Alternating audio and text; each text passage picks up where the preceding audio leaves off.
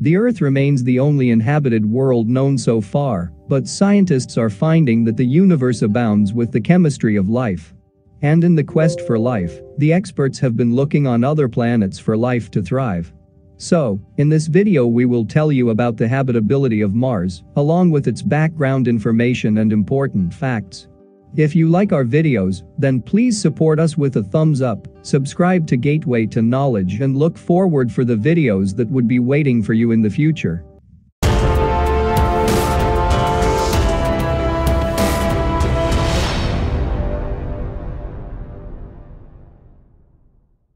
Mars, the fourth planet from the Sun is of great interest for past or present or future life in our universe, since current conditions on Mars are thought to be analogous to conditions on early Earth, and Mars contains carbon, potential energy sources to support life, and water in some form. Mars is a dusty, cold, desert world with a very thin atmosphere. This dynamic planet has seasons, polar ice caps, canyons, extinct volcanoes, and there are evidences that it was even more active in the past.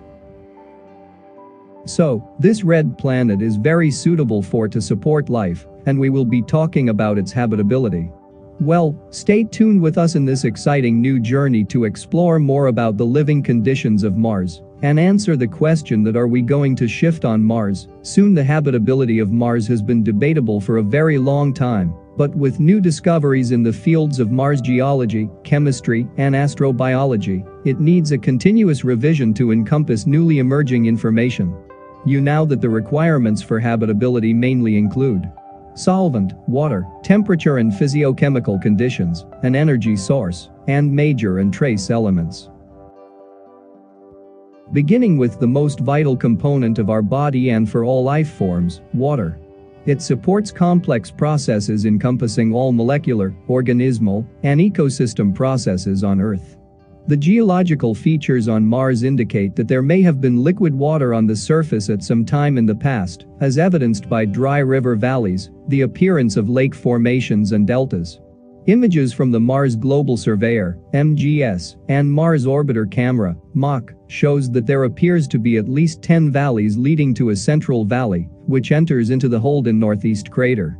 Current researches has shown that water does exist as polar ice caps, subsurface ice deposits, water vapor, hydrated salts, and groundwater.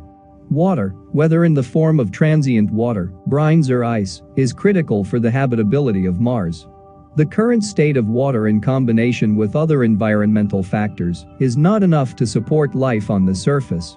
Studies indicate that early Mars was likely to have been more active and habitable than present-day Mars. Moving ahead, the second most important component for supporting life are organic compounds. The first discovery of organic molecules was reported by Freissinet. Among discovered molecules by the sample analysis at Mars, SAM, instrument on the Curiosity rover were chlorobenzene and C2 to C4 dichloroalkanes. Moreover, the sample's analysis also indicated the presence of sulfides on Mars, which strongly supports microbial activity. However, even with the discovery of organic compounds, it is still unknown whether their source is from biogenic or abiogenic processes, or if they have current functions in terms of habitability. Moving next, the microscopy, electrochemistry, and conductivity analyzer, MICA, suite, carried by the Phoenix Mars lander, brought three soil samples and were analyzed using the Wet Chemistry Laboratory, WCL, instrument. The results indicated that the average pH of Martian soil is 7.7, which is close to the optimal pH for microbial growth, even though acidic and alkaline pH values are also tolerated by microorganisms on Earth.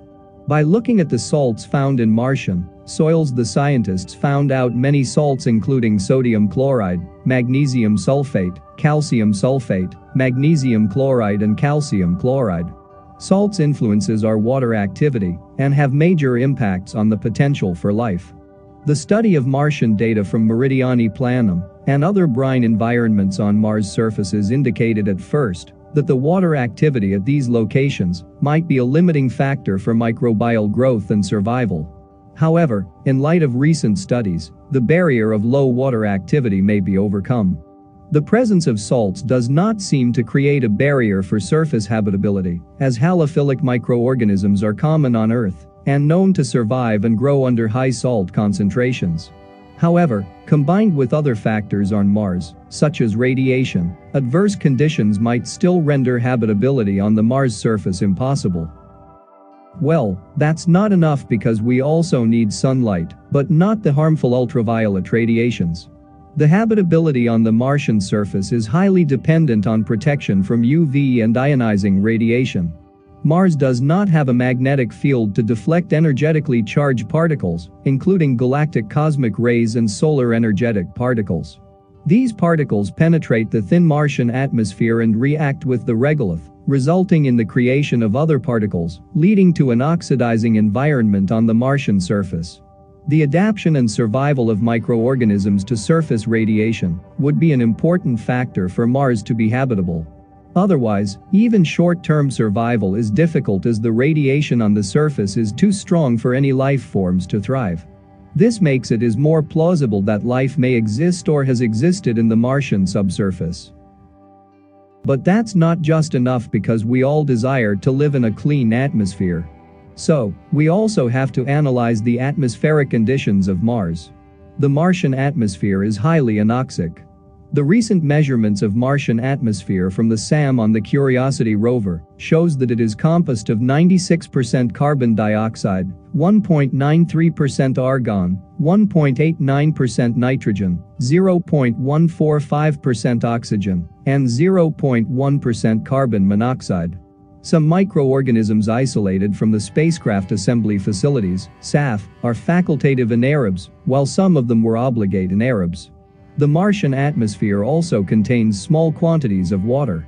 Water vapor in the Martian atmosphere is dependent on seasonal water removal from ice caps at both polar regions, some of them also gets transported by winds. These all suggests the growth of certain fungi and other microorganisms. Another important characteristic of the Martian atmosphere that is extremely distinct from the Earth's atmosphere is a very low pressure of 6 millibar. Low pressure is considered as a limiting factor for habitability, but examples of microorganisms surviving under low pressure may suggest that the Martian atmosphere might be easily overcome for surface, and in particular subsurface, habitability. Now, we are halfway there. The important characteristic to be studied for habitability is to analyze the Martian surface. But life cannot survive on its surface because of the extreme and harsh conditions. So, the subsurface of Mars is the most probable place where life is likely to survive and thrive, due to protection from the extreme environment found on the Martian surface.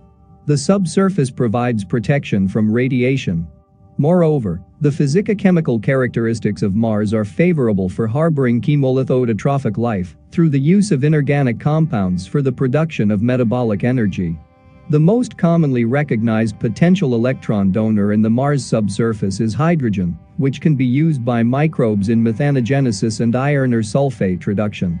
Moreover, the discovery of methane on Mars suggests the potential for past or present habitability and life on Mars. Even though the Martian surface and subsurface are characterized by some of the most extreme and life-limiting physical and chemical characteristics, there are study-based indications that Mars may indeed be habitable for microbial life forms. Although both the surface and subsurface can provide the basic needs to meet habitability requirements, the subsurface is more likely to provide a protective niche from radiation and low temperatures. The novel discoveries on Mars-related habitability reassures researchers to continue the path of seeking signatures of past, present or future life on it.